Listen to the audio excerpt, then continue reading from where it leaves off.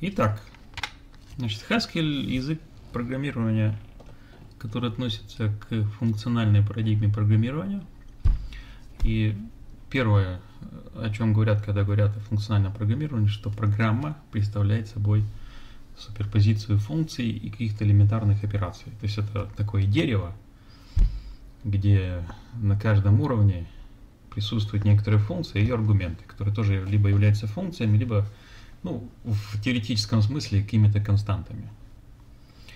Вот. Кроме того, в качестве аргументов и в качестве обрабатываемого значения функции тоже могут выступать. Это называется first class объектами, то есть объектами, подлежащими обработке. То есть функции в языках функционального программирования тоже являются объектами для обработки.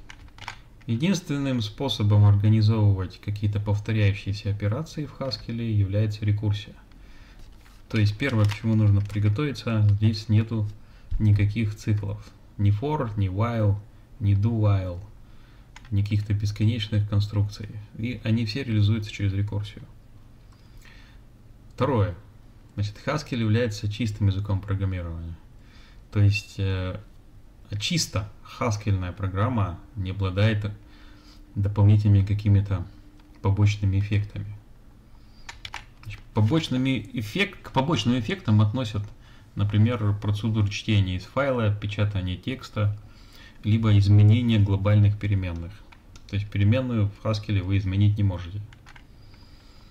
Э, все входные данные в какую-либо функцию должны быть переданы только через ее аргументы. И все, что функция выдает, она выдает в качестве своего значения. То есть других способов передачи информации нет. Там, например, через глобальную переменную. Вот, ну, это как бы 99 таким процентов образом передается дополнительная информация, какой-то контекст. Вот такое ограничение, да, значительно, да, по своей сути, она э, заставляет думать о том, что этим языком будет очень трудно пользоваться, да, и там нет никакого практического смысла. Но на самом деле э, получается так, что вы программу делите на две части, значит, чисто функциональную, и это придает этой части, как сказать, некоторые теоретические свойства. То есть вы э, оптимизатор кода может проще, более простые правила использовать для оптимизации. Это первое. Второе, вы можете формально изучать свойства вашей программы, вот этой функциональной.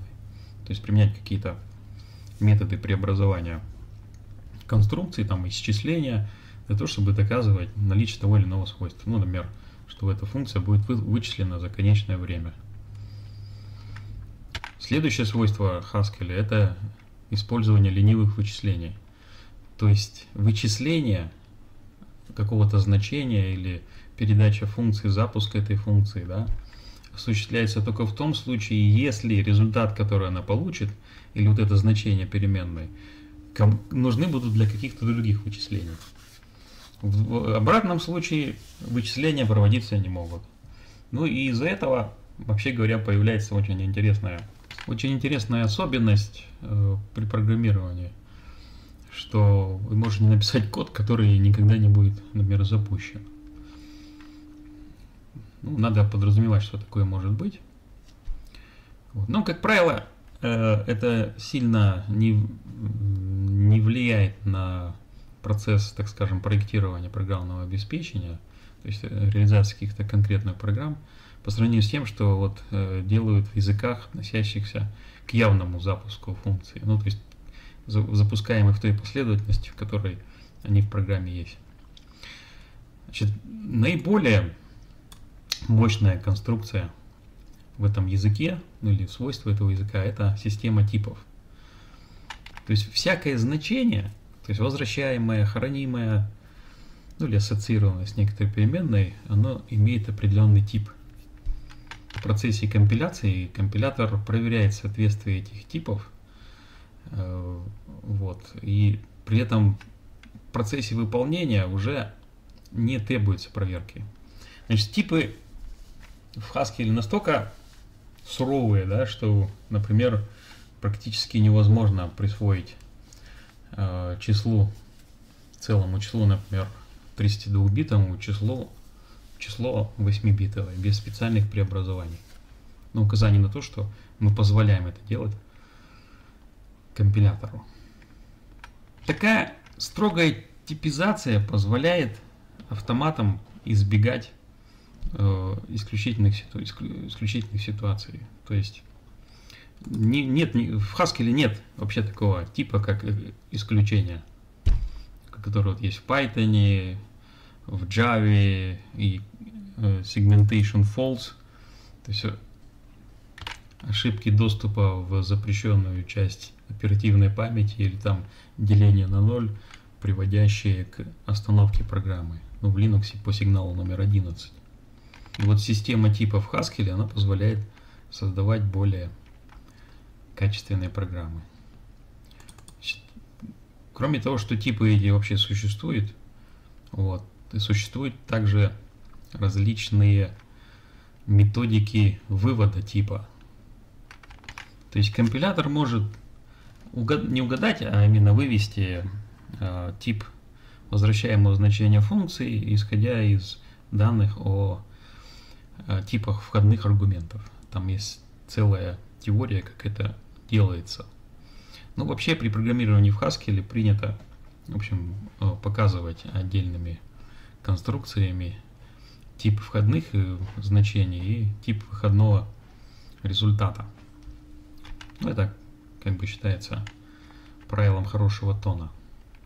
Вот эти вот дополнительные аннотации, да, они называются, они позволяют, во-первых, более просто читать программу, во-вторых, они подсказывают компилятору дополнительные ограничения, то есть э, функция подразумевается не, э, не в качестве преобразователя каких-то абстрактных типов, да, а более конкретных, и там можно более конкретные оптимизации использовать. И третий момент, он тут, кстати, не показан, да, в английском тексте, то, что по вот этим аннотациям, то есть вы, например, э, некоторую хотите найти какую-то функцию, и вы знаете, что она должна преобразовывать там э, некоторую значит, комбинацию входных параметров определенного типа в выходное значение определенного типа. Так вот, по этой вот сигнатуре, по этой аннотации вы можете в справочнике Google найти все функции, подходящие вот под эту сигнатуру. То есть это один из способов, вообще говоря, найти в библиотеке нужную вам конструкцию. А, язык умеет создавать, точнее предназначен для создания динамических элементов в, в куче, да, ну кто знает, что это такое. Это часть процесса, то есть часть оперативной памяти процесса, где хранятся и существуют, будем так говорить, динамические переменные. И в Haskell для работы с такими элементами существует сборка мусора. И программисту не требуется дополнительно использовать какие-то процедуры для освобождения памяти. Вот. А так как язык функциональный, вот эту вот систему сборки мусора сделать намного проще. То есть он работает более эффективно, чем сборка мусора там, в JavaScript, там Java, подобными, ну, подобными подобных языков программирования динамического. Ну и вот одно из главных тоже преимуществ Haskell то, что он компилируемый. Вот. Большинство лиспов и интерпретаторы, хотя это не совсем, точнее совсем неправильно это говорить, потому что современные вычислительные машины достаточно быстро работают, да, и для того, чтобы программа выполнялась быстро, лучше программу скомпилировать, и процесс компиляции на высокопроизводительной машины, он практически не отличается от процесса интерпретации. Вот. Но Haskell, он как бы изначально ориентирован на именно компилирование из, из исходного кода в целевой код компьютера. Есть также утилиты для интерактивного взаимодействия с вашей программой, с запуском функций. То есть вот есть Glasgow Haskell Compiler, это компилятор, который генерирует исполняемый модуль, ну, там экзешник. И GHCI это способ как раз интерактивного взаимодействия. То есть производится частичная компиляция, и в командной строке вы можете запускать определенные конструкции, то есть ваши функции, и устанавливать значения переменных. Но также некоторые команды, позволяющие, например, узнать сигнатуру, то есть аннотацию для вашей функции. Что касается по литературе. Значит, много есть интересных книжек. Они, как правило, написаны специалистами в том стиле, в котором они этот язык программирования понимают. То есть для того, чтобы эффективно изучить Haskell, вам нужно найти подходящую для вас книжку. Список, не знаю, может быть я его туда добавлю потом в, в описание, может быть и нет, ну посмотрим, как по времени будет. Может быть потом добавлю. Я пользовался двумя книжками. Одна называется Learn Haskell for Grid Good. Я люблю читать на английском, потому что э, там меньше ошибок есть. Вот можно прямо онлайн прочитать.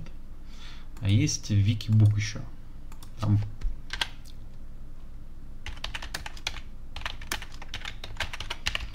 тоже. Значит, для вот этой книжки, да, вот для вот этой предыдущей есть э, русский перевод. Вот, значит, есть Викибук.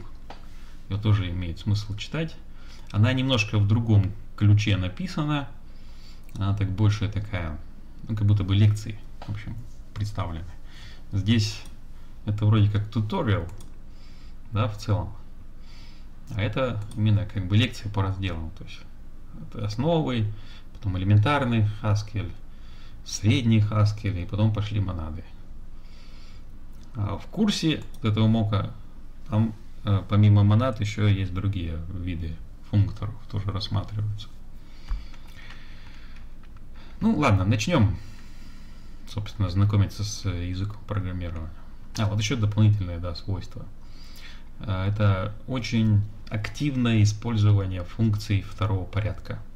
Значит, что такое функция второго порядка? Это функция, которая принимает в качестве своего аргумента другую функцию. Ну, вот пример. Это конструкция, то есть применение функции map с двумя аргументами. Первый аргумент это вот та самая функция аргумент в map. Первый аргумент мапа, да. Второе это список. Так вот, map что делает? Он берет, выполняет функцию length, она должна быть одноаргументная. Ну, подразумевается. На самом деле это не обязательно, но в общем подразумевается.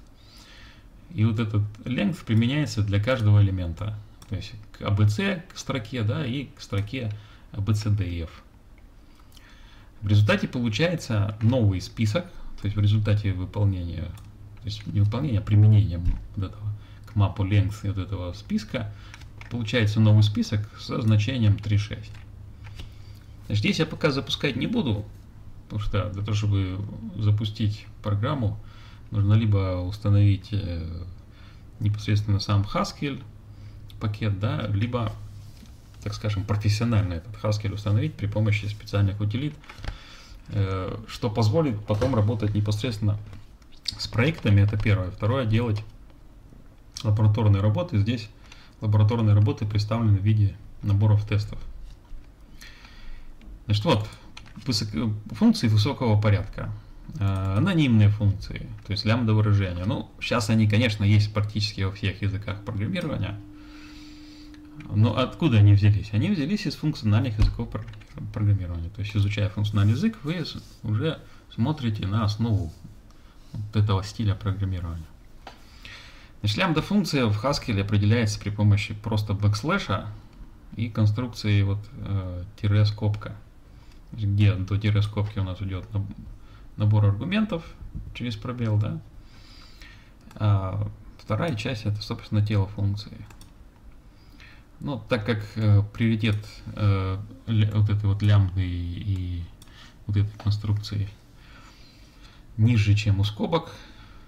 Поэтому, если мы скобки отсюда уберем, короче говоря, будет очень трудно понять, где эта лямбда функция заканчивается компилятору. Здесь что у нас написано, что вот есть некоторый список, есть функция. по идее, э, мы здесь что-то фильтруем, да? Фильтруем по вот этому правилу. Значит, э, в лямбда функции у нас один аргумент, то есть сюда последовательно передаются вот эти вот э, элементы списка, и для них вычисляется сначала длина и потом сравнивается с единицей. И э, очевидно, что тип возвращаемого значения у length от x больше единицы будет э, логическое значение, то есть истина или. Вот, если получается для какого-то очередного элемента значение лямбда функции будет истина, да, ну то есть значение вот этого length, ну, по определению лямбда функции, то такой элемент остается. То есть нам нужно найти такие строки внутри этого списка, длина которых в количестве символов больше единицы.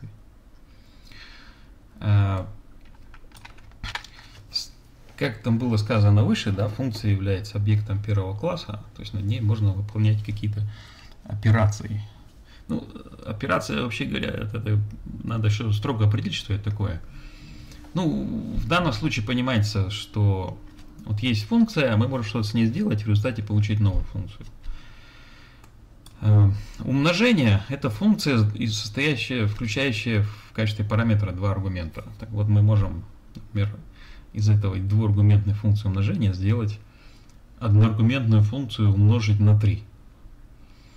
Это как раз э, делается при помощи частичного применения аргументов к функции. То есть, если в функции у нас два аргумента, значит, я понимаю, что специалисты в Haskell сейчас скажут, что я неправильно интерпретирую. Ну, для начала, да, тут уже у нас функции два аргумента. Если мы оба аргумента передали, тогда применили к функции, то мы можем получить значение. Если же каких-то аргументов не хватает, то в качестве значения этой конструкции мы получим другую функцию вот, э, с аргументами, не получившими свое значение, но фиксированными другими аргументами.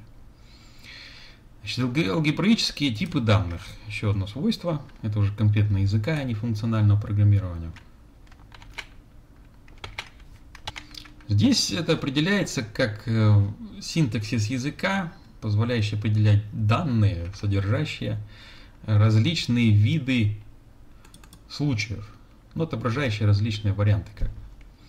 То есть, например, вот контур, да, это либо точка, либо прямоугольник, характеризующийся двумя числами с плавающей запятой, либо круг, характеризующийся, например, радиусом, да, Э, структуры программные, позволяющие, э, ну, скажем так, входные параметры проверять на соответствие некоторым ограничениям. То есть pattern matching. Ну, если дословно перевести, то это проверка на соответствие некоторому шаблону.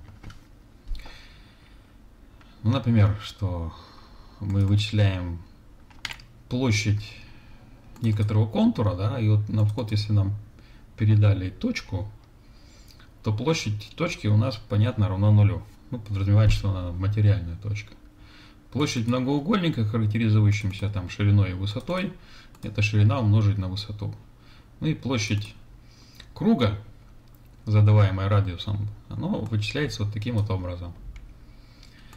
Значит, списки, в отличие от других языков программирования, значит, обработка списков – реализуется ну, внутри компилятора, да, то есть там есть специальные процедуры, которые обрабатывают. Вот, с одной стороны. С другой стороны, э, в Haskell есть специальные библиотеки, которые задают свои списки, и там, соответственно, свои методы оптимизации используются. Но, тем не менее, есть синтаксические структуры, которые позволяют вам довольно быстро эффективно создавать списки. В отличие, скажем, от, языке, от языка C. Ну, понятно, в, питоне, в питоне тоже такие конструкции есть, в Python. Эм, для обработки списков есть специальные конструкции, которые по-английски называются list comprehensions. Ну, по-русски это переводится списковая структура, то есть подходящего значения для перевода не существует, к сожалению. Я, по крайней мере, не видел. И вот в этой списковой структуре мы, например, можем задавать ну, э, некоторые значения выбирать из последовательно из списка, да, и потом комбинировать эти значения. Например, выбрать такие комбинации имен и фамилий, э, имеющие э, четное количество букв, без учета пробелов, правда. Вот это вот операция объединения двух списков, ну, или объединение двух строк, а строки в Haskell это варианты списков, списков символов. Благодаря вот этому вот э, свойству ленивых вычислений в Haskell можно создавать списковые структуры, порождающие бесконечное количество элементов. Ну, например, вот здесь в n попадает числа от 2 до бесконечности. Но есть некоторые ограничения. Так. Ну, это, по-моему, что у нас рестори это сфера, наверное, да, алгоритм. Я тут не удаюсь в подробности. В общем, и вот, вот эта функция primes, она в некотором смысле порождает вот эти вот самые n, удовлетворяющие вот этому условию. И опять же, если ее вот эти возвращаемые значения прайма где-то там используются, да, то использовать их можно некоторое конечное количество раз, да, и тогда становится неважным, что n можно здесь породить бесконечным количеством способов. Ну, то есть это от двух до бесконечности. И вот нам нужно взять 10 простых чисел, возвращаемых вот этой функции. Вот они, собственно, выдаются. То есть Primes она может генерировать бесконечное количество простых чисел, но нам нужны только первые 10. И таким образом, как бы, программа, включающая в себя э, бесконечно вычисляемые ну, то есть структуры с бесконечным количеством элементов, она сама по себе становится конечной. То есть для вот таких вот структур data, да, также существует обобщение, параметризованный тип, то есть когда можно определить там shape от некоторого типа, например, t. И этот t использовать при определении вот этих различных вариантов. Это создает очень мощный э, как раз инструмент э, создания э, типов данных и реализации обобщенного программирования этими типами данных. Ну и еще один элемент, который я, например, не знаю, где бы он еще встречался, в языках вот этого класса ML, да, к которым Haskell относится, это классы типов. Ну, тут дословно типовые классы. Еще одна из форм полиморфизма, которая может э, реализовывать методику задания функции с одним и тем же именем, но другой комбинации входных параметров, ну, в зависимости от типа. То есть, таким образом, в ну, зависимости от э, варианта, э, одна то есть функция, которая в программе у вас написана, да, она может, вообще говоря, варьировать, как она реализована и э, какие результаты она возвращает. Ну, например, самая известная простая функция show, да, реализующая класс show для какого-нибудь типа, она осуществляет преобразование аргумента, относящегося вот к этому типу, к строке. То есть это способ э, не то чтобы распечатать значение, но, по крайней мере, э, создать строковое представление некоторому значению. Причем э, вот этот шоу можно даже автоматически реализовывать ну, при помощи специальной декларации для ваших структур данных. Вы выводите, так скажем, вариант того, как мы это можем отобразить для пользователя. Ну, история э, создания Haskell или вообще функциональное программирование значит, представлена вот этим списком. То есть в 30-х годах было изобретено, разработано лямбда исчисление – математика Малон за Чорчем. Для исчисления э, оно таким образом задано, что можно э, этим, ну, то есть вот этими конструкциями математическими представлять вычислительную процедуру. Ну, тут можете почитать. То есть у функциональных языков есть формальное обоснование того, что они реально реализовывают э, какие-то конкретные алгоритмы. Ну и вот в 50-е, 70-е годы вот разработка языка Lisp, э, создание процедур с э, поиска соответствия шаблонам, вот реализация варианта Lisp это схема, вот Meta Language я говорил в предыдущей лекции, это, скажем, класс языков, ориентированных на создание и разработку систем автоматического доказательства теорем. Задавали вопрос, значит, как можно отходить от э, ограничений там фонеймановского стиля, то есть какие вообще должны быть языки программирования, которые ну, буквально от ничего не зависят больше да, в программном стиле, и каким образом такие языки можно реализовывать на фонеймановских машинах. Вот дальше что произошло тут? Произошла унификация, так скажем, теоретического взгляда на различные функциональные языки. И в 90-м году выпущен был первая версия, в 91-м версия 1.1. Значит, ну, с каждой новой версией, соответственно, язык приобретал дополнительные конструкции. Вот, и, например, в 1.3 в 96 году монады появились, значит, синтаксис do для монад. То есть монада это представление, один из вариантов представления нефункциональных последовательностей в функциональном виде. Но это отдельная тема, мы ее не касаемся. Значит, стандарт Haskell 98 в 99 году вышел. Дальше шло активное развитие в 2000 в 2009 году появился стандарт 2010. По-моему, стандарт 2010 как раз вот в этом курсе и реализован. Ну и также в 2010-х начали разрабатывать как раз а, Haskell как платформу для разработки уже практических приложений. Название Haskell приобрел в честь американского э, математика Haskell Carry. Есть, кстати, одна операция Carrying, тоже в честь него названная. Здесь перечень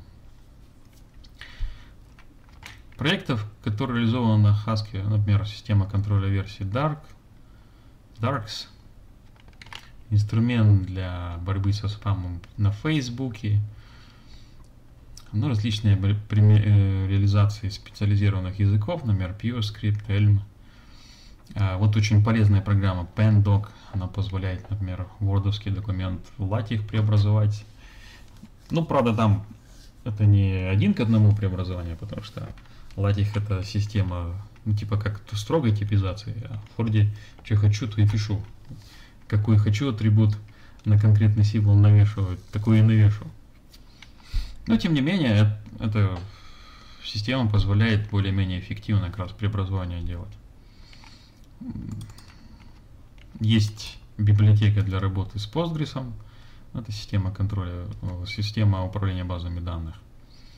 И есть компании, которые очень активно используют Haskell, в частности для консультирования.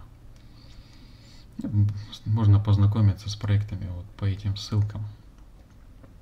Ну, вы поняли, да, что если вы зайдете на этот сайт, попадете как раз на этот самый курс. Вот. Эм. Для того, чтобы выполнять примеры, нужно установить Haskell. Вот правильный способ это использовать так называемый Stack Tool. Это их вообще несколько инструментов управления проектами, но вот Stack это новый и более высокоуровневый по сравнению с тем, что было раньше что я рекомендую его использовать. Сейчас я не буду показывать, как он устанавливается, потому что установка она достаточно медленно происходит. То есть он выкачивает там буквально несколько гигабайт информации дополнительно, там всякие библиотеки. Мы отдельную лекцию этому посвятим, ну или практическое занятие как раз. Ну, пока ну, возьмем это на веру. То есть вот есть у стека команды, то есть запуск того или нового инструмента например, собрать проект, там, э, скомпилировать проект. Вот один из них это запустить интерпретатор GHCI. И вот мы запускаем стек GHCI и можем здесь выводить различные значения. Значит, там, э, как, да, важный момент такой, да, что сейчас э, текущий компилятор Haskell имеет первый номер версии, это 9. И вот вид приглашения, он немножко отличается. Ну, не знаю, пробуем сейчас запустить. Ну вот у меня, видите, получается версия 9.2.7. Вот можно там, выполнить такие операции 1 плюс 1. Видите, 2 получается. Строку там ввести. Определить тип Т функции, Т сигнатуру, да, вот эту, или там аннотацию. То есть tail, функция, ему в качестве первого аргумента передается список, а это некоторый тип, видите, это абстракция, то есть неважно какой тип, и возвращается список и с элементами такого же типа. То есть tail, например, список 1, 2, 3. Получается 2, 3. Можно, я насколько помню, можно даже тип посмотреть здесь результата. Но он его на самом деле не запускал, он просто вывел тип. Что у нас в результате получается список типов, имеющих класс число. То есть можно складывать, там умножать. Ну, выход вид. Я он уже установлен, поэтому у меня тут все работает. Чтобы установить, там отдельную процедуру нужно делать. Вот если каждое выражение разобрать последовательно, да, то что у нас получается? Вот 1 плюс 1 Давайте плюс 2 лучше напишем. Это выражение, которое складывает два числа, да? Его можно вот таким вот образом представить. 1, 2. То есть в префиксной форме. Это инфиксная форма, когда операция находится между аргументами. Это префиксная форма, когда операция находится перед аргументами. Скажем, в, в языке Lisp она бы вот так выглядела. 1, 2. Очень много тут одинаково, да, получается. Вот можно посмотреть тип возвращаемого значения. 1, 2, то есть получается возвращается экземпляр некоторого типа, который поддерживает операции над числами. Там я вверху сказал неправильно, там возвращает типы, это возвращает все равно какие-то экземпляры, какие-то объекты. Что-то есть вот строки, понятно, да? Можно тоже тип строки посмотреть. Это строка Вообще, тип строки, так, по-моему, комментарий, правильно, да? Просто уже полгода назад программировался. То есть string у нас, в принципе, то же самое, что последовательность символов char. То есть можно написать вот так вот. вот неправильно, надо один символ записать. Видите, в результате строка получается. Часто момент. Исправим ошибки. Пробел-то. Чар с намеком на то, что это все-таки последовательность символов. Вот э, функция reverse. Так, мы будем набрать просто. Мы передаем параметр э, список символов, и он преобразует строку с обратным порядком следования элементов. Например, можно взять целые числа сюда поставить. Здесь получается тоже обратный порядок. Если мы тип посмотрим, что мы здесь увидим? А здесь видим мы очень высокий уровень абстракции, да, опять.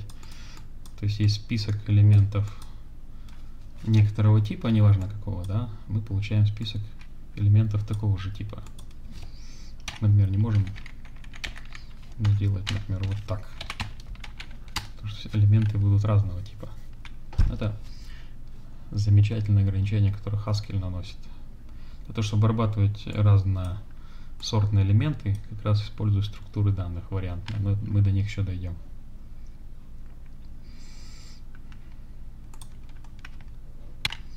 Ну вот, мы говорили выше, что каждое выражение ну, то есть константа, либо применение к функции некоторых аргументов, имеет некоторый тип результата. Ну и, соответственно, аргументы тоже, каждый аргумент тоже обозначается некоторым типом. Значит, тип, согласно определению в информатике, это набор операций над данным или над объектом да, каким-то.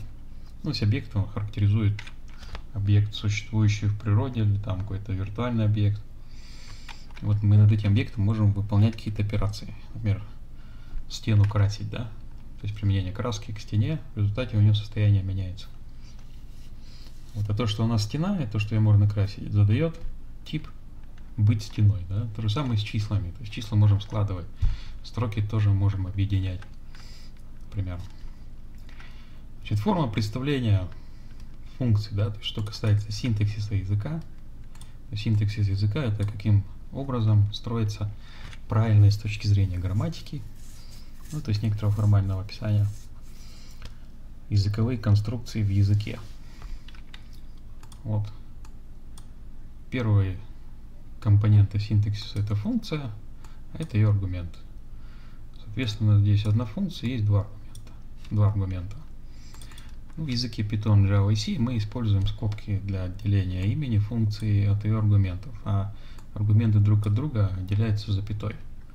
Синтаксис в Haskell он намного проще получается. Представление группы выражений, да. Здесь можно смотреть эм, соответствие опять же, да. То есть в зависимости от того, как скобки расставлены, да, э, Haskell делает те или иные предположения о том, какое количество аргументов, какого типа, да, эти аргументы имеют, да, какой тип имеют.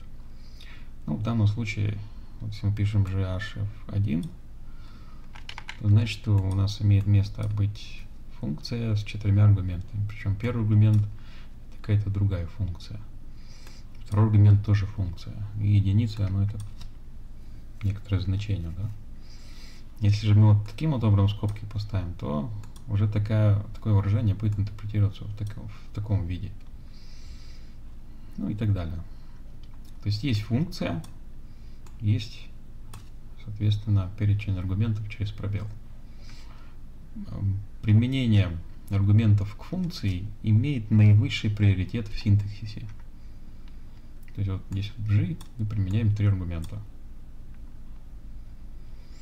Ну и, естественно, инфиксное представление – в общем-то, не, некоторой степени похожи или схожи по синтаксису, что в Haskell, что в языках вот обычных Python, Java, C, например. Ну вот выражение типа f от a плюс g от b будет интерпретироваться таким вот образом, потому что, еще раз повторяю, что приоритет применения аргумента к функции является наивысшим приоритетом. Соответственно, если мы хотим вот такое выражение представить, нам нужно уже использовать скобки. Функции в Haskell являются левоассоциативной, то есть выражение вот такого вида представляется в следующем виде. То есть f от x, ну это, кстати, противоречит тому, что я вот здесь сказал, да, похоже. Это, наверное, просто примеры были даны. То есть сначала мы применяем аргумент g к f, вот. Потом к результату применяем x и опять к результату применяем y. Да, но если на это внимание не обращать, да, опять же, то тогда можно считать, что к f применяется g, x, y. Ну, а, да, действительно, это, это, здесь все правильно значит. Значит, синтакс SIS, занимающийся определением типов. Есть несколько базовых типов, которые используются в Haskell. Соответственно, целые числа, вот их примеры, да. Вот, это int, в смысле, какое-то целое число. Integer, то есть число с определенным количеством битов в их представлении, да. От int в integer и обратно довольно, довольно проблематично преобразовывать. Ну, это мы потом увидим дальше. Числа с плавающей запятой, значит, используется точка для разделения. А, не приветствуется использование точки, например, точка 1 только. То есть нолик обязательно надо писать, иначе это будет синтаксическая ошибка. Ну также можно задавать порядок. Логический тип true-false, значит, константы пишутся с большой буквой.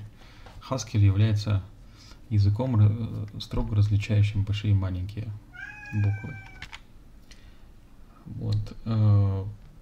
Это что касается представления, да, вот здесь второй столбец. Третий столбец и четвертый определяет операции, то есть набор операций. Как я говорил, что тип данных, он задает им набор операций над объектом этого данного, да. То есть целые числа можно складывать, умножать, делить, брать остаток отделения. Аналогично для integer, э, аналогично для операции деления с плавающей запятой, только это у нас было деление нацила, а это деление с, плав... с плавающей запятой. Можно вычислять квадратный корень из числа, ну, для некоторых значений, очевидно. Можно выполнять логические операции и над списками, ну, то есть над строками можно выполнять операции преобразования в новый список с обратным порядком, порядком слов, символов, то есть, ну и здесь, соответственно, объединение. Переменные обозначаются термами, да, с маленькой буквой. Типы данных, классы с большой буквы. Помимо простых типов, да, то есть целое там число с плавающей запятой и так далее, еще существуют функциональные типы. То есть функциональный тип, он использует стрелку и показывает, как э, аргумент одного типа возвращ, возвращая, преобразуется в тип возвращаемого значения. Здесь у нас имеет место быть одноаргументная функция, а это двухаргументная функция. Причем первый и второй аргумент представляются в таком виде, а это возвращаемое значение. Аналогично для трехаргументных функций, по аналогии мы можем строить аннотации. Выглядит довольно необычно, страшно, но мы с этим разберемся. Так, ну тут повторение идет, да, то, что мы можем посмотреть тип возвращаемого значения, это я вам уже показывал. Теперь посмотрим на структуру программы на языке Haskell. Вот тут маленькая программа, которая чем она тут занимается.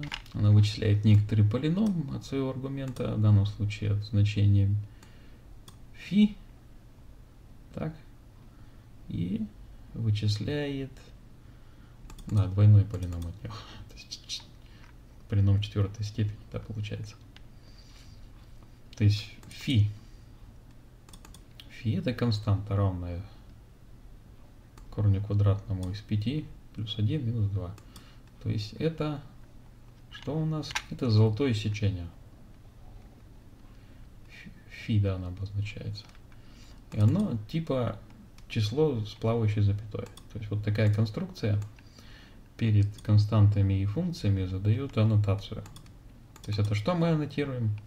Это разделение между объектом и его типом. Это тип. Еще там бывает дополнительно разные декларации классов для типа и для аргументов. Но это потом мы встретим. Вот функция которое одно число с плавающей запятой отображает в другое число с плавающей запятой. Вот это та самая монада, которую все боятся. Но мы пока здесь не рассматриваем. Значит, будем подразумевать, что это просто последовательность. То есть это функция, которая без аргумента и представляет собой последовательность некоторых команд одного и того же типа. Да, значит, в определении функции мы разделяем вот эту вот эм, левую часть, так, где названия функции идут и аргументы, потом идет знак равенства, ну это одна из форм представления, самая простая. И дальше идет тело функции, то есть что, собственно, эта функция обозначает.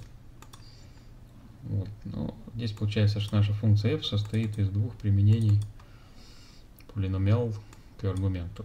Сначала применяем первый полиномиал к x, потом к результату, что у нас получится новый полиномиал, применяем. Ну и тут, получается, мы печатаем полином первой степени, квадрат, квадратичный, да, а потом уже четвертой степени вычисляем. Ну и получаем тут, соответственно, 0 и минус единицу. Значит, если мы запишем эту программу в файл, который называется gold.hs, так, то есть название файла должно совпадать с названием модуля. Да, забыл сказать, да, здесь что. Мы должны сначала определить модуль. То любая программа является модулем. Ну, кроме тех, которые можно запускать в интерпретаторе.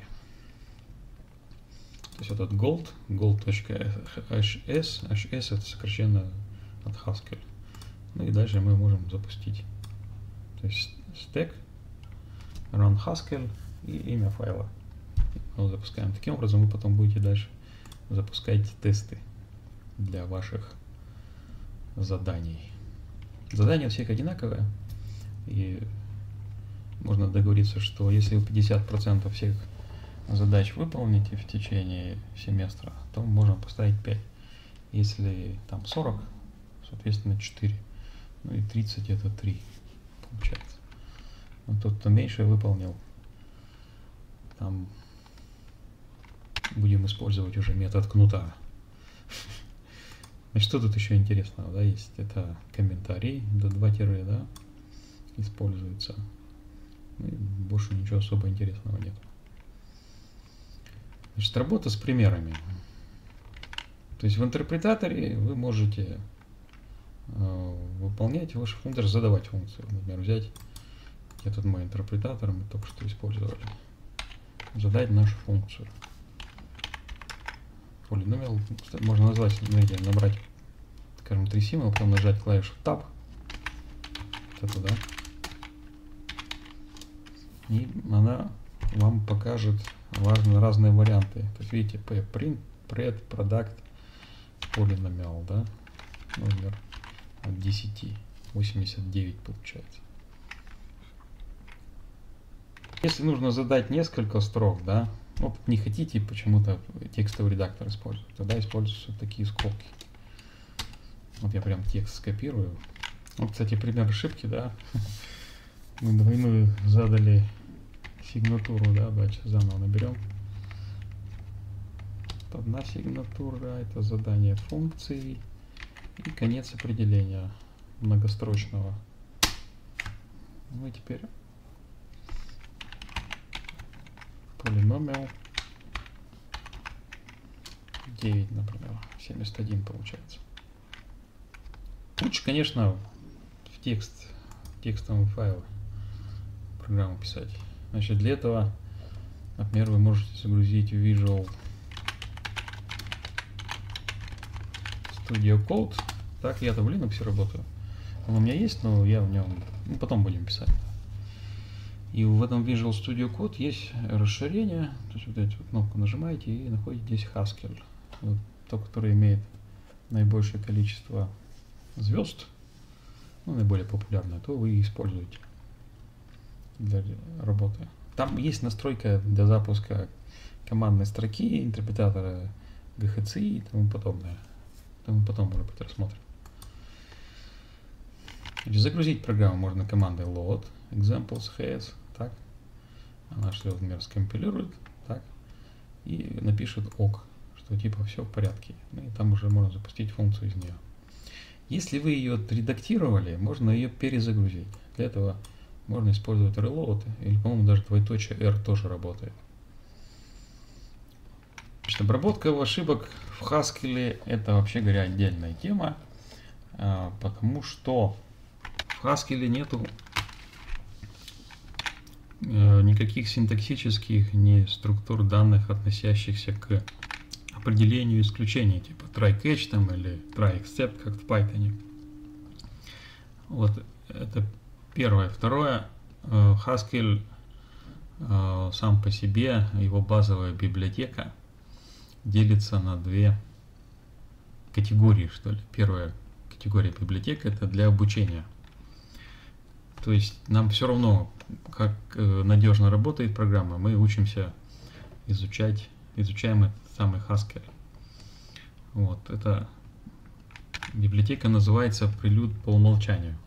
То есть, когда мы ничего не импортируем дополнительного. Значит, как, э, и при этом в случае ошибки возникают конкретные ошибки. Ну, например, если мы, по примеру, прибавим, пытаемся добавить какое-то число к строке, да, у нас возникает ошибка. Ну, это, правда, ошибка типа в, во время компилирования. То есть во время исполнения, например, можно такой пример привести. Там tail, взять пустой список, у него взять хост. Вот он, Мити пишет exception. Это прилюд, tail, empty list. И вот есть вариант прилюд, в котором невозможно, грубо говоря, выполнить tail. Ну, то есть такой вариант библиотеки, где разработчик должен вот эти все варианты, ну, в данном случае применения пустого списка к тейлу, рассмотреть э, обязательным образом, то есть исключить возникновение исключительных ситуаций. На самом деле, опять же, на каком-то этапе да, обучения, в переходе от режима обучения к режиму ну, такого профессионального программирования, такие конструкции можно использовать. То есть вот есть функция error, то есть она может быть, а ее может и не быть. Вот, она как раз выдает сообщение о том, что вот некоторая ошибка произошла. Да. То есть вы можете в своем коде использовать, например, то же самое tail реализовать, что он там пустой. Но когда пишется программа уже профессионально, исключительных ситуаций быть не должно. Это такой принцип программирования на Haskell. Да, вот э, сообщения Haskell, они э, вначале как-то шокируют. Но если вот внимательно посмотреть, что что получается, мы не можем ввести в соответствие тип данных char с... То есть то, что мы ожидаем. То есть вот аргумент вот это второй, да, он ожидает, что мы здесь должны передавать список символов, ну или строку. Вот. С, с тем типом данных, который мы реально получили. То есть это логический тип. Вот тут у нас ну, то же самое, да, практически. Ну, давайте-ка мы возьмем пример тут, который true, да. Ну, то же самое, да, выдается. Теперь, то есть вот это ошибка, да. И возникает вопрос вообще, о каком аргументе речь-то идет. То есть вот об этом аргументе или вот об этом аргументе. Вот смотрим. Значит, во втором аргументе функции плюс-плюс. Значит, это первый аргумент, это второй аргумент. То есть у нас есть второй аргумент, у него тип bool, но должно быть э, список символов. Вот, теперь смотрим, какое выражение. То есть вот оно выражение наше, да, что вот в этом выражении вот такой-то функции второй аргумент такого-то типа. Ну и в целом, значит, само выражение было такого вида. То есть it это переменная, которая содержит предыдущее значение. Но так как у нас вот это выражение выполнилось неправильно, а точнее оно не выполнилось, у нас предыдущее значение сохранилось. Правильное выражение. it, видите, то есть можно использовать, скажем, it плюс it написать. Или it плюс 90. Мы опять ошибку получим. Вот, вот в, у Camel у него намного более непонятная система сообщений. Вот Haskell, он, конечно, в этом смысле выигрывает. Ну, по крайней мере, когда я на нем программировал, тогда очень давно, где-то в 2000-х годах. Сейчас, наверное, что-то там поменялось, конечно. Но у Camel чем, чем интересен, у него есть объекты. В Haskell их нет. Ну, в смысле, они ему не нужны. Аналогично вот true плюс 1. Ну, арифметика. Значит, есть функция div, двухаргументная. Давайте тоже ее посмотрим. Скажем, div 7, 2. То есть целая часть отделения. Удобно, конечно, записывать его в инфиксном виде.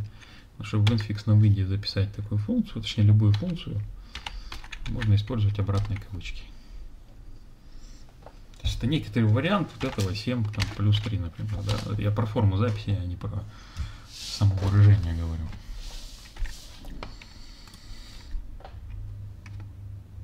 Значит, мы можем спокойно разделить число с плавающей запятой.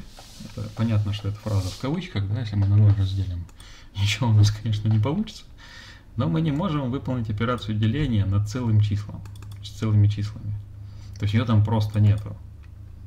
Ну вот если посмотреть, что он тут выдает, да, он говорит о том, что у нас есть некоторая функция half, да, ну или там half, это значит поделить на два, да, рассечь. Вот, задано таким вот образом. И вот в этом выражении у нас есть проблема с тем, что для функции деления, для целого числа определения такого нет вообще. Вот это тот самый полиморфизм классов в смысле Хаскеля. То есть деление определено для чисел с плавающей запятой. Вот эта операция, которая слэшем обозначается.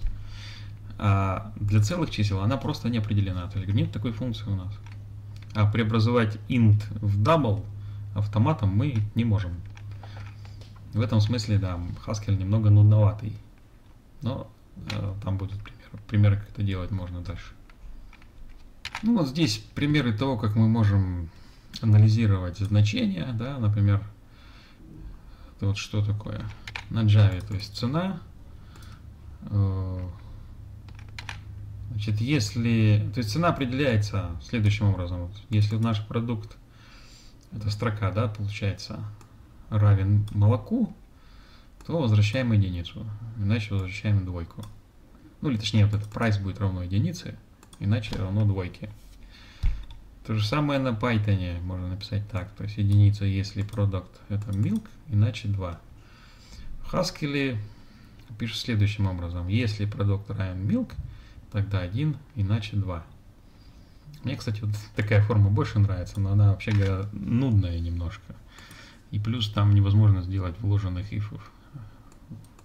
Здесь же более ясная, и можно ифы вкладывать друг в друга методом отступа. То есть отступ в Haskell является синтаксическим элементом, таким же, как в питоне, но не таким нудным, как в питоне. То есть в питоне все отступы должны быть сделаны единообразно. Либо это пробелы, либо табуляция. Если это пробелы, то на определенное количество пробелов. Все отступы.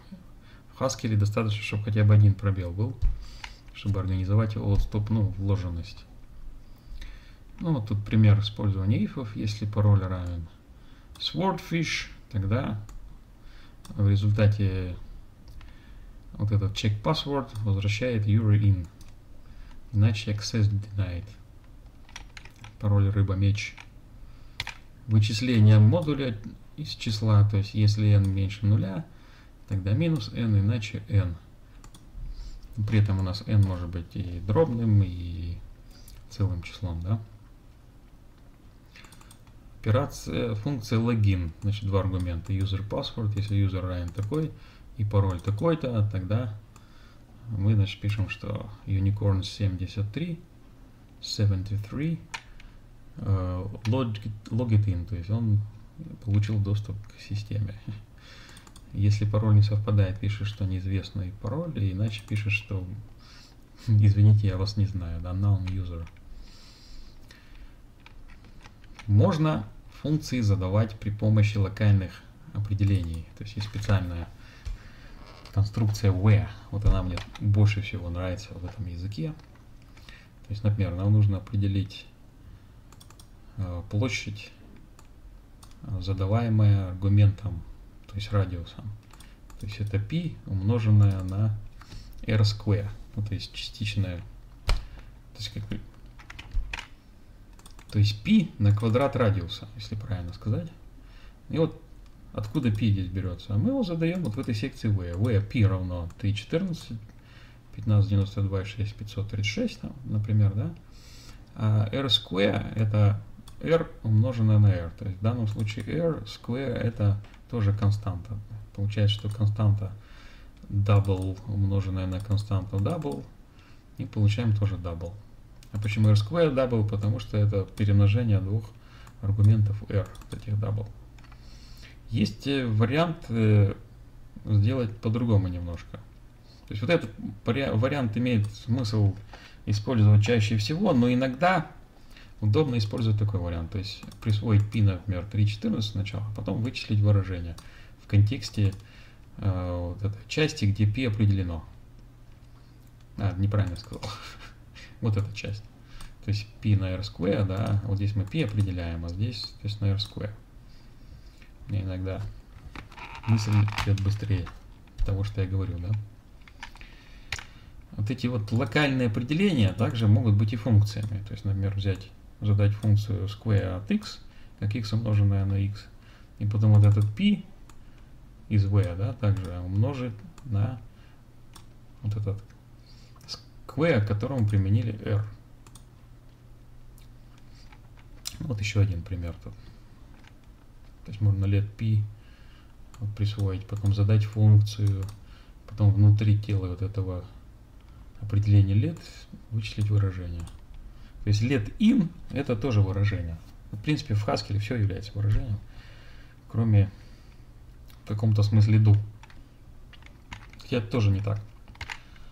Важный момент в языке Haskell. То есть, когда вы выполняете вот такую конструкцию, создаете, да, то вы Э, можете определить новый x по отношению к предыдущему. Но это не означает, что вы заменяете некоторое значение в ячейке x. Вот.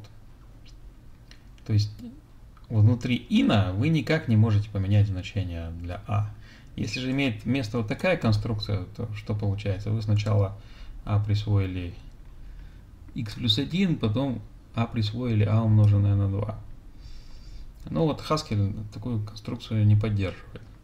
Ну, потому что это некрасиво смотрится, мне кажется, поэтому. Но я так, я так не делаю, да.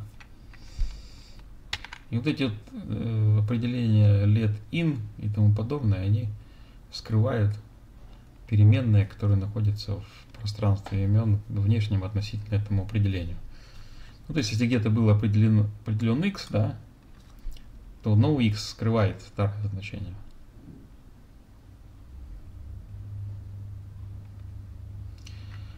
Значит, pattern matching.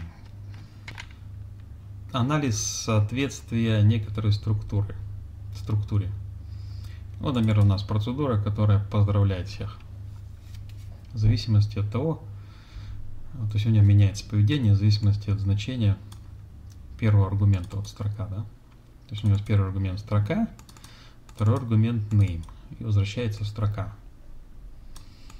То есть если мы хотим по-фински поздороваться, да, с некоторым человеком, тогда мы пишем «hey», ну, вот запятая, да, потом складываем с неймом.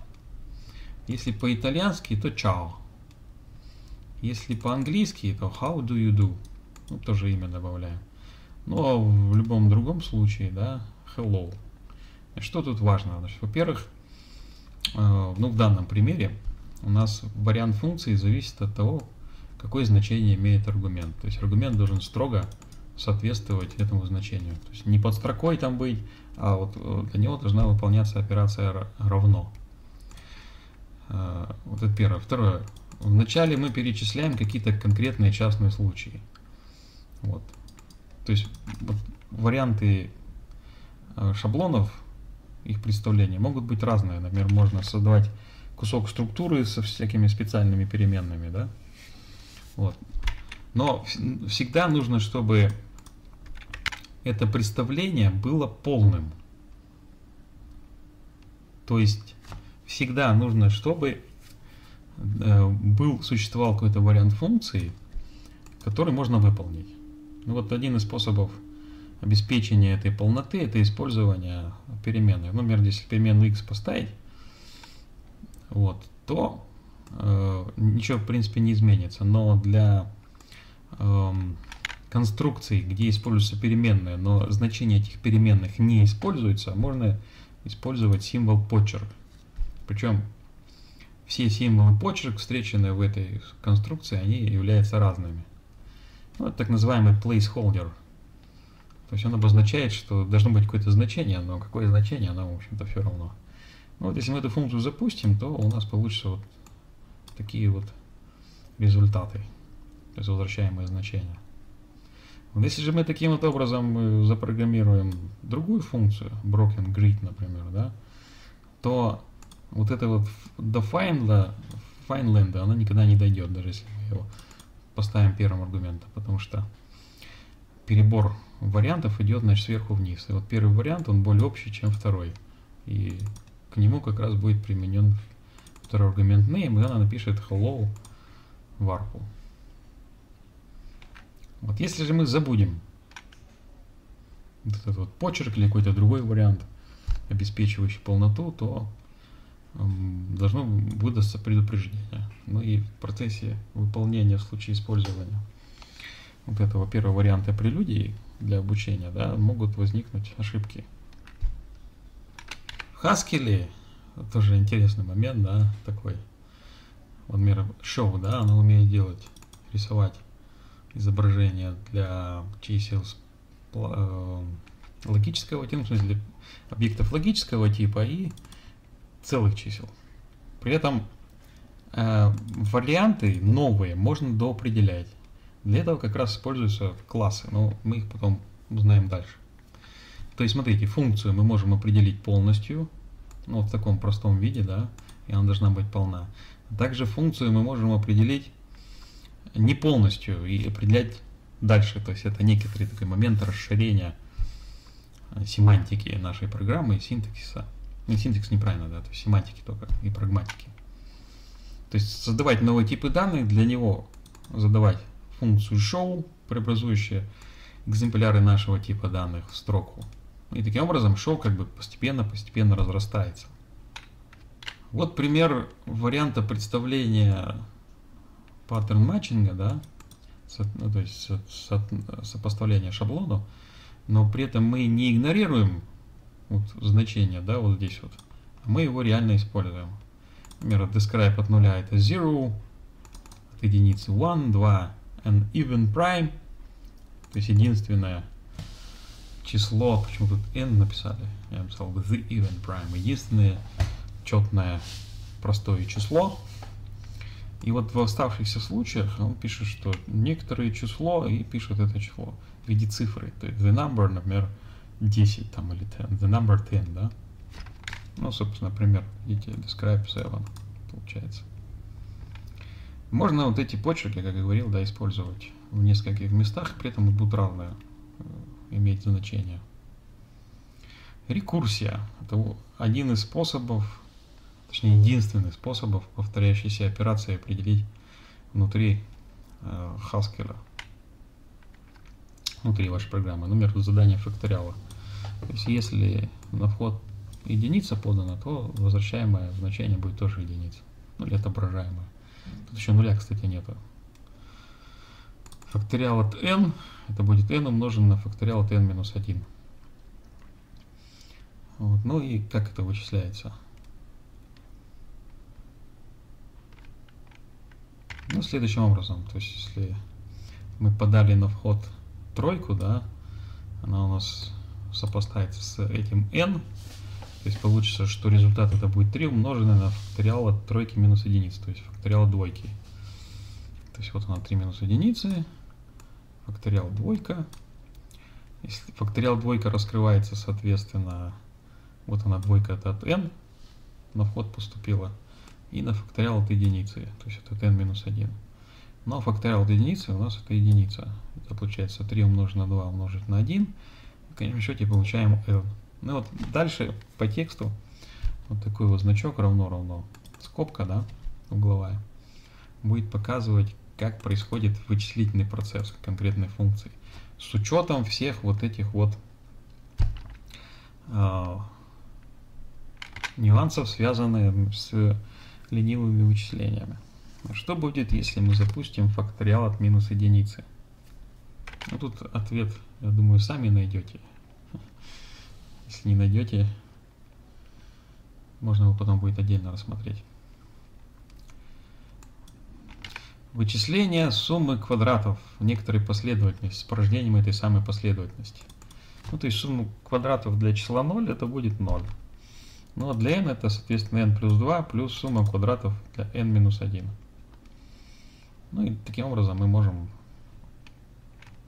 эту сумму посчитать. Ну, то есть это получается арифметическая прогрессия своего рода, правда, над квадратами. Ну и вычисление чисел Фибоначчи. Вот первое число Фибоначчи единица, второе число единица, а n число это n минус второе число Фибоначчи плюс n минус первое число Фибоначчи. Ну и вычислительный процесс, вот вы можете посмотреть. Значит, процедура рекуррентная, рекурсивная, э, много в ней недостатков получается. Вот тут дерево, например, вычислений. Ну и в заключении именно лекции можно подвести итог в виде такой вот большой программы, в которой будут использованы все конструкции, которые мы раньше использовали. Назовем его COLATS. Порождение последовательности колодца для числа 3. То есть 3, 10, 5, 16, 8, 4, 2, 1, 4 и так далее. И вы, как можете видеть, э, мы должны дойти до единицы. Ну, я не знаю, что это за последовательность, но не встречалась она мне. Ну, программу можно разобрать. То есть у нас есть некоторая функция step, которая в зависимости от того, является ли ее аргумент четным, либо возвращает некоторое, ну или равна некоторому увеличенному числу, либо какому-то, а, уменьшенному, то есть это какому-то увеличенному числу. Вот. Уменьшение происходит каким образом? Мы делим x на 2, а увеличение мы x умножаем на 3 и прибавляем единицу. Собственно, колодц для единицы равен нулю, для x он равен единице плюс колодц на вот этот шаг от x. Кстати, аналогичная функция, это функция Аккермана, да. Не 0 тоже это интересно. Вы можете, кстати, в качестве примера ее реализовать, функцию Аккермана. Значит, longest, longest э, находит э, число, соответствующее максимальному количеству элементов последовательности, начиная от, от нуля до некоторой верхней границы. То есть вот он аргумент передается. Вот, получается что longest у нас три аргумента, да, с штрихом. Да, в качестве части идентификатора можно использовать штрих. Иногда это очень удобно. Ну и э, два варианта интерпретации может быть. Либо это какая-то внутренняя вспомогательная функция. Ее лучше, кстати, за where спрятать внутри основной функции. Либо это функция со специальными какими-то свойствами. Ну, например, она не, не ленивая. Ну и вот ее, собственно, реализация с использованием шаблонов. То есть, если последний аргумент у нас равен нулю, тогда мы игнорируем предпоследний элемент и возвращаем вот это число. В другом случае, единственном, да, получается, мы эту максимальную длину воспринимаем, но n тоже берем.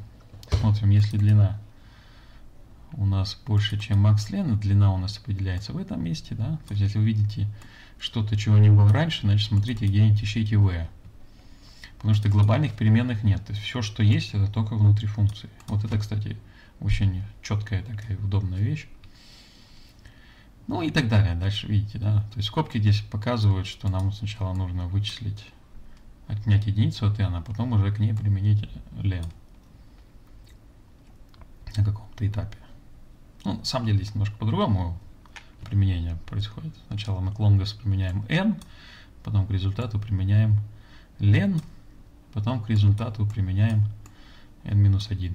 В двух случаях здесь возвращаются частичные как бы функции. Вот можно тут поэкспериментировать с результатами. Значит, по поводу отступа, да, некоторые замечания здесь есть. Что все сущности одинакового уровня должны быть организованы при помощи отступов. Значит, вот э, можно записать одно и то же следующими, следующими способами. Вот э, есть у нас некоторые длинные выражения. Мы можем разбить его путем вставки э, перевода строки возврата каретки. И вот здесь отступ важно, чтобы он был хотя бы один символ от, от буквы L. Вот а in находился ровно под L. Аналогично здесь, если мы, например, v a равно единице, то b равно единице можем друг по другом написать. Можно сделать вот так вот. То есть вот э, количество на самом деле не важно, важно, чтобы они были одинаковые длины отступа. То есть, скажем, если был бы какой-нибудь c, у него должно, чтобы ровно было такое вот количество пробелов. Либо можно одинаковые делать. Вот такие вот. Ну, это зависит от вашего стиля. Значит, это вот неправильные варианты, потому что in находится ближе к краю, чем let. Вот этот, нету здесь ни одного пробела, соответственно. Вот, а здесь b ближе, чем a находится. А здесь, соответственно, b дальше, чем а. У них должно быть одинаковое расстояние до края. Вот, а здесь v находится на уровне э, определяемого значения, что тоже неправильно, потому что V это часть определения тела. Ну и, соответственно, выдает сообщение о том, что ошибка синтаксического анализа, связанного с отступами. Вот. Вам сейчас два задания. Ну, пока первое задание делаете, то есть заходите на этот сайт. Вообще говоря, надо зарегистрироваться там. Вот. Почему надо регистрироваться? Для того, чтобы на сайте можно было вам статистику собирать по тому количеству лабораторных работ, то есть тестов, которые вы реально выполнили. Вы в качестве результата мне можете просто послать скриншот э, вашей статистики. Значит, в конце каждой лекции вот здесь вот есть э, опросник. И вам нужно, соответственно, для самоконтроля ответить на эти вопросы. Ну, например, э, вот у нас на C, на Java или на Python есть конструкция такого вида, и какой конструкции Haskell она будет соответствовать. То есть мы должны проанализировать вложенность и найти правильный ответ. Я вот случайным образом ткнул, сейчас что-то мне неохота думать, например, сюда, видите, мне повезло, да? Вы можете посмотреть, ошибаетесь вы или нет. Ну и другой вариант то же самое. То есть, что следующее истина в Haskell? Каждое значение имеет тип. Каждый тип имеет значение. Каждое утверждение имеет тип. Ну, я думаю, что вы уже знаете, да, какой ответ здесь. Ну и так далее. В общем, выполнили. Ну и следующее. Вот инструкция на самом деле. То есть вы можете ее просто прочитать и выполнить. Ну, выполнить это будет довольно долго, пока она там все установит. Э, нужно сделать две вещи. Во-первых, установить этот стек и, загрузить с GitHub вот этот директорий. То есть вы его клонируете. Там, значит, два раздела. То есть первый, который мы изучаем, и второй, более сложный есть э, внутри каждого раздела exercises и ну давайте кстати откроем его посмотрим структуру вот он exercises открываем. Вот set 1 has то есть это первое первое задание. Задание написано здесь на английском языке. Ну, например что вам нужно здесь? Например определить Эм, две переменные. Одна называется one, другая называется two. Вот, они обе должны быть целого типа и иметь значение. Соответственно, первое должно равняться единице, второе должно равняться двойке. Здесь вы решение свое представляете, ну, не конкретно на этом сайте, а вот в клонированном э, репозитории, да, и потом запускаете тест, тесты. Вот, например, вот здесь стек, run Haskell, вот этот set1, потом добавляете тест и потом HS. Вот если вы правильно выполнили очередное упражнение, тогда здесь будет зелененьким нарисовано pass. Вот, если неправильно, то будет выдано сообщение о том, что какой-то тест не прошел. Ну, например, вы функция скомпилирована, да, но она работает неправильно, то есть неправильное значение вычисляет. Вот он пишет, что тест ожидал, что должна четверка получиться, а был получена двойка. Ну и так далее. В конце концов, вот ваш паттерн, и вы в данном случае сделали 18-19 заданий, что в принципе очень хорошо. Вот. Далее, да, вы можете также запускать интерпретатор да, со своими э, функциями, есть своими определениями, и их, собственно, запускать каждый из них. Это вообще замечательная вещь, конечно. Если кто использует кабал, делается таким вот образом. Но кабал вроде как это менее, то есть более низкоуровневая конструкция. Я вот ей год пользовался, понял, что стек все-таки это более серьезная вещь. И лучше сразу обучаться работе с, именно со стеком. Если вы, значит, загрузите свои результаты, ну, то есть вашу программу, вот эту test1.hes на вот этот мок под, своим, под своей учетной записью, она еще проанализирует и выдаст статистику определенную, да, тут наверху, вот она там есть где-то сейчас найдем от statistics. То есть, э, если логин выполните, да, то вот MyStats покажет, что вы как раз сделали. Это вот общая статистика по первому разделу. То есть, видите, например, первую задачу решила 1617 человек. Кстати, странно даже, да? Вторую сделала больше, чем первую задачу. То есть, это вот один набор тестов. То есть это для первой лекции. Вот для второй лекции это два набора тестов. И чем дальше народ идет, тем меньше ему удается сделать. Что довольно странно. Вот, для части 2 статистика... А, тут есть интересно. Это... Короче, части 2, да, тут раньше было 270, но еще 100 человек добавилось за год. То есть курс очень активно используется. Короче, сделали тесты, загрузили, и потом ну, можно, в принципе, читать дальше, можно ждать через неделю или через две, я запишу вторую лекцию. Значит, кому не терпится, я говорю, это очень интересный язык, это целое приключение, когда вы его изучаете. Спасибо за внимание, надеюсь, было интересно. Вопросы пишите значит, в комментариях. До свидания.